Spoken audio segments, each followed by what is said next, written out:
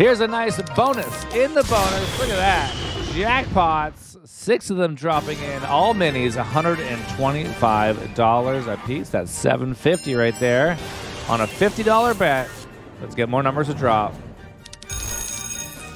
50 bucks. Lightning Shenlong, $100. Nice. Drop it. 300. Okay, good. 150 and three more chances again.